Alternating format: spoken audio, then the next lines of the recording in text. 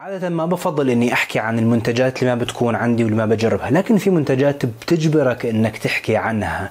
اليوم الحديث عن ساعة ذكية لكن متميزة جدا بالنسبة للناس اللي مثلي بيعشقوا عالم الساعات، ساعة أميز في تيركس بصراحة ساعة رهيبة جدا، خلينا نتعرف على تفاصيلها اليوم لكن بدون ما تكون معي بفيديو جديد. أصدقائي اسمحوا لي قبل ما أبدأ هذا الفيديو. ذكرت بفيديو ماضي وبرجع بذكر والفترة هاي شوي راح أذكر بتمنى إنه ما يعني نزهقكم بهي العبارة. المتابعين اللي عندي على القناة الحمد لله والمشاهدات تعتبر جيدة لا بأس فيها لكن فقط من اللي بيتابعوني 20% مشتركين بالقناة. بتمنى إنه أي شخص بيتابع القناة مهتم بالمحتوى إنه يدعمها فقط يعني ما طالبين منكم ولا شيء غير الاشتراك بالقناة تدعم القناة بشكل كبير إنه فعلا رقم قليل جدا 20% يعني تخيل أنت 70% بيحضروا القناة مو مشتركين فيها.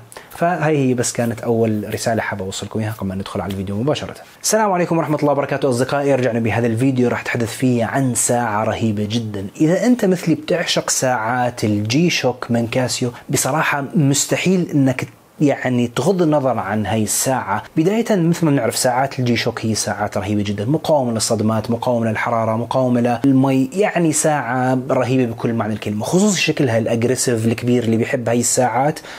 راح يعشق ساعة ال Amazfit ال T-Rex. شو هاي الساعة وشو قصتها؟ بصراحة أنا يعني حتى شركة Amazfit ما كان عندي فكرة عنها. لبين ما شفت هاي الساعة واسمها يعني أغراني يوم شفت ساعة مسمينها T-Rex. بدي أدخل أشوف شو هاي الساعة. T-Rex هو اللي هو التيراسور اللي هو من فئة الديناصور لكن هو لأكبر حجم اللي بالعادة بيكون بوقف على الرجلتين اللي هو الشكل اللي معروف بالنسبة لنا بالديناصورات.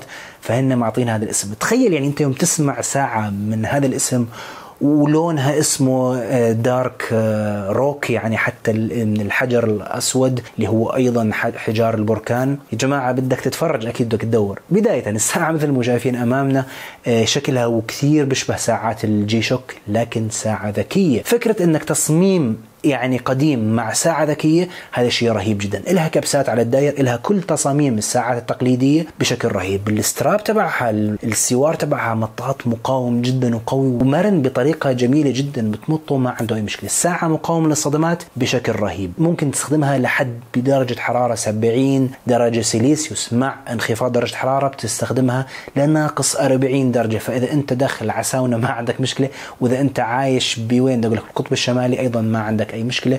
أو مثلا بالسويد بالنرويج بتطلع فيها وأمورك تمام بدون ما تعطل الساعة. بتسبح فيها بتغطس فيها لحد 50 متر. حجم الشاشة 47 ملم الشاشة تبعها مقاومة للبصمات يعني ما بتبصم وبنفس الوقت هو نوعها الزجاج تبعها ال Gorilla Glass 3 كل هاي المواصفات القوية اللي فيها والحماية هي كلها حاصلة على درجة اللي بيسموها 12 military grade certification اللي هي درجة من درجات التقييم اللي بتكون درجة عسكرية. فكل الأدوات أو يعني المنتجات اللي تستخدم بالأمور العسكرية هي بتكون أعلى شيء. فهي الساعة بتصلح لاستخدام عسكري. فتخيل أنت يعني بتحكي أنت الاستخدامات عسكرية فما بالك الاستخدامات مدنية؟ شوف قديش راح تكون مقاومة معك وقوية للصدمات. بنفس الوقت هي بتحمل بطارية بتدوم معك لحد 20 يوم. أكيد فيها حساس لنبضات القلب فيها GPS تتوصل ب وهذا أجمل شيء تتوصل بالآيفون وتتوصل بالأندرويد بدون أي مشاكل. ما في جهاز بيحصل على شيء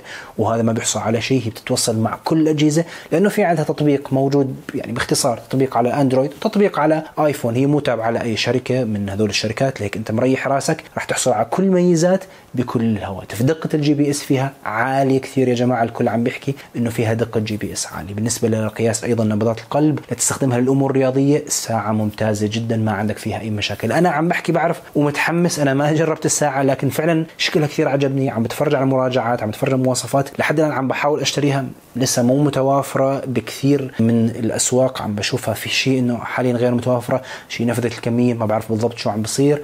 بس في ناس حاصية عليها. الساعة بتيجي بعدة ألوان في اللون الأبيض في اللون الأسود وفي لون أعتقد جراي يعني بصراحة أنا حصرا اللون الأسود مع هيك ساعة. حرام. دقة الشاشة مثل ما حكيت عالي. الألوان فيها تباين الألوان رهيب جدا. عم بشوف كيف وضوح الأحمر فيها كثير حلو. كل هالمواصفات وكل هالباكج الرهيبة بيجي سعرها 139 دولار. الآن في ناس ممكن يشوفوا السعر غالي لكن أنا شخصيا بشوفه جدا رخيص بالنسبة اللي عم نشوفه حاليا بالسوق. فمثلا ساعة آبل اللي سعرها ما بيقل عن ال 400 ل 500 دولار حسب الدولة اللي أنت فيها.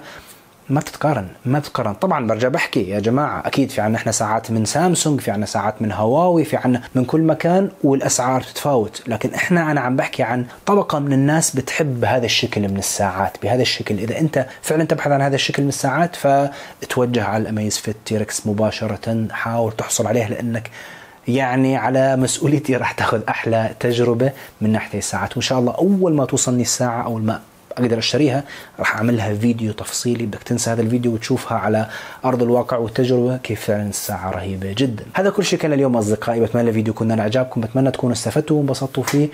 وإذا بتحبوا هاي المنتجات نحكي عنها أكثر أكيد اكتبوا لي بصندوق التعليقات. كان معكم عويدة من قناة سكند ستيك لا تنسى باستمرار تدعمنا بالاشتراك بالقناة. السلام عليكم ورحمة الله وبركاته.